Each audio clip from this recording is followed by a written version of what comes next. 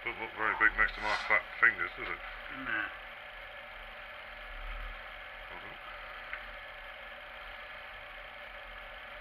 Try that, sir. Are you going to blow it?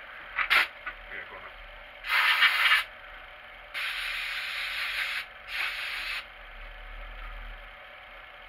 Yeah? Happy? Yep. Happy? Let's stick that on there.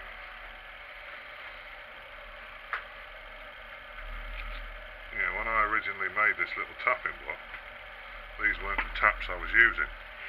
The shank was the same diameter all the way up. So it didn't. That, that is 3.3 is exceptionally small, isn't it? Yeah, it's small.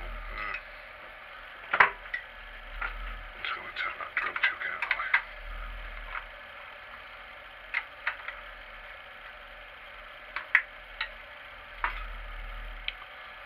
So there's a little bit of touchy-feely just to get it going. And keep it straight with the hole in the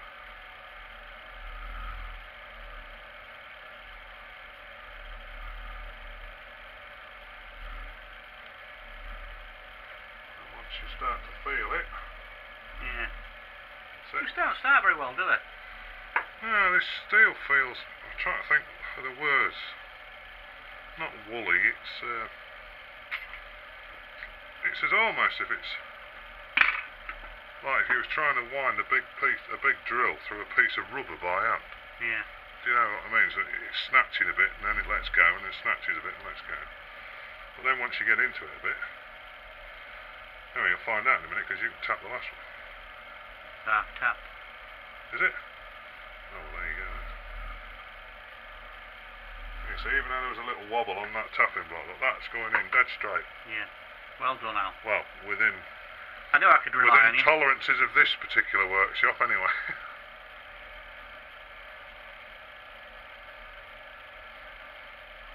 well, you'll know more about this because you started to tap that other hole, didn't you? yeah. So when you try this tap, I'm just thinking, you know, it- it's done a bit more than I thought because, What the tap has? you know, you know my old Centec milling machine, the first one I had, Yeah. you know, I put that DRO on it. I tapped all that cast, all the castings for all the DRO brackets and everything with it, Oh, with that. with this same full- little tap because mill. the one that came in the snap-on box, it was just shite. And I couldn't believe it. I got this one and I started tapping with it. I didn't think it was cutting. It was going that easy compared to the snap-on one. Not that I'm slagging snap-on off. Must have been a blunt snap on. No, it's a brand new tap. What? Sorry. I was trying to backtrack there. It was a, it was a blue point one. Does that make yeah, that sounds better. Does that make Still it any on, better? but-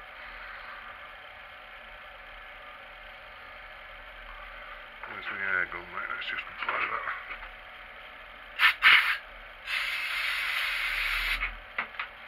I need a bigger shed, Robin.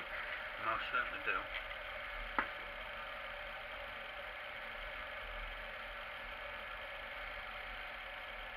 Now you finish tapping that one. finishing tapping you, this You see what that feels like compared to that other tap. Well, the minute it's going well. It will. you got the volume turned down on your iPad? Alright, uh, there won't be any volume on it. On mine, if you don't turn it down, you just get a whistling noise. Alright, it doesn't seem to come through on the camera. The volume just records on the card, I think. Yeah, that's going dead easy though, Al. I was getting so much twist on my tap. It was just done that much work, I think it was. It looked very blunt and it felt very blunt. I can't really, if I'm honest, unless it's a really blunt tap, if I pick it up and just touch it with my fingers, I can't really differentiate between sort of really blunt and a bit blunt. It's only when I start to tap with it. Well, that's the difference between me and you, Al. I'm small and delicate to the touch. So am I. You're large and clumsy. I'm just a big hammer. I don't need to hit it many times for it to do. Right, we're done. So all the screws are in there. All of them? We shall have to have a. All of them? Yeah, we'll have to have a little video of this uh, wanging some clay. We will, yeah. Tomorrow I want to lighten this this bit as well, so I'm going to lighten it tomorrow when I get it back home. I'll drill some holes in it and just lighten it. So I'll do a little video of that, and then uh, we're done. Tag it on the end. You can put that back on if you've got some paper towel. This is like that advert. One sheet is plenty. Hey. You only get one. I'll Loctite it tomorrow.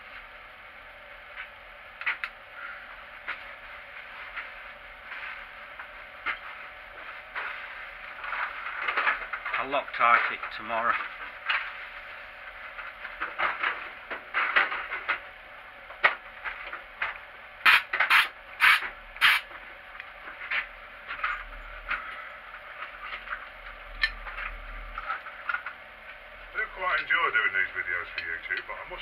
I get a bit pissed off for not being able to play the music while you're doing it. To have a bit of ABBA going in the background. because of Francis. There's other groups available. Yeah, but not with a, a blonde Agnetha, whatever her name is. Well, it's look like that anymore.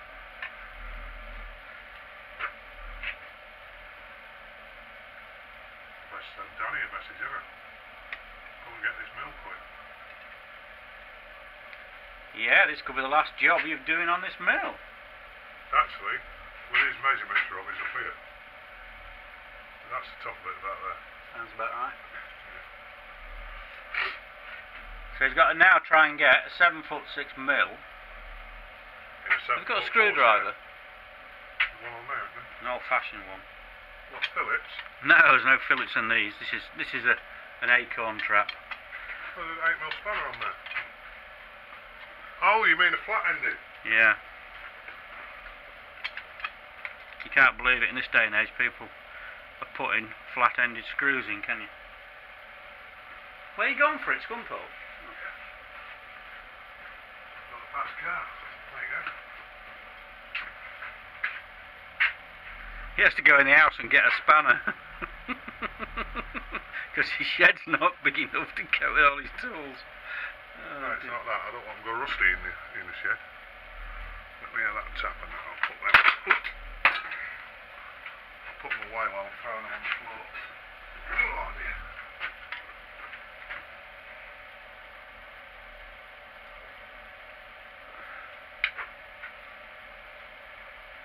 Best, uh, I best send uh, Mr. Abob a message, and I tell him I've got a Greenfield tap, because he loves Greenfield. Yeah, he's mad on it. It's good stuff, actually.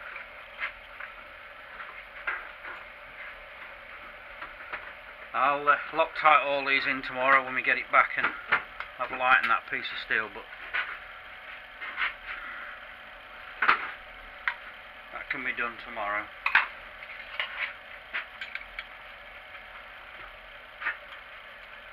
Right, another day, another dollar.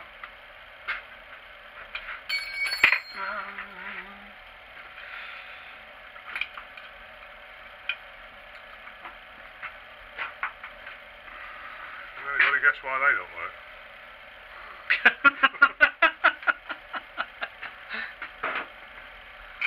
Maybe because I put them outside in the rain for a month and a half.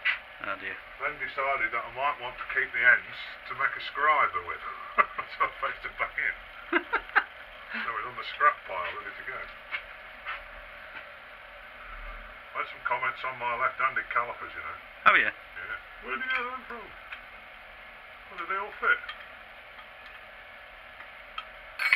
Oh, I must have been on the money then. Hopefully. Didn't think was. Didn't think the drilling was that good. And then that bit wants to go. There we go. Yeah, well, you got to put that bit back on. I can't remember which end. Was it that way?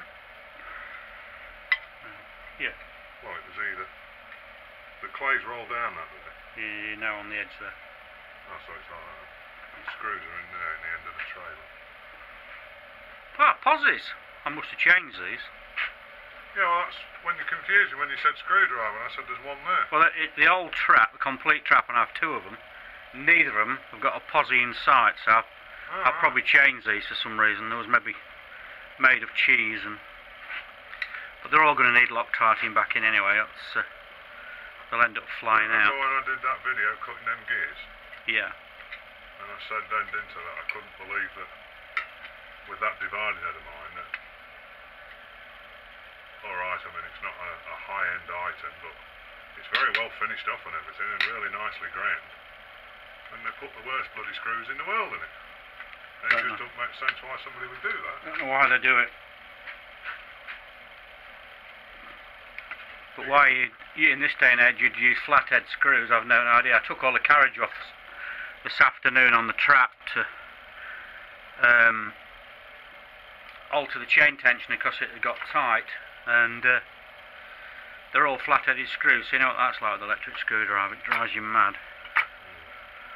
And I had to take the complete carriage top off to uh, just to check tighten the slacken off the chain tension so it would it would tighten the chain. It's not the best med thing in the world. Not that I've got anything against Suffolk engineers. Everything sort of made in the shed, eh? isn't it? Right, there we go. Ready to rock and roll. So tomorrow we'll lighten that, make it a little bit lighter. Might make a big difference, you think? It's fairly weighty.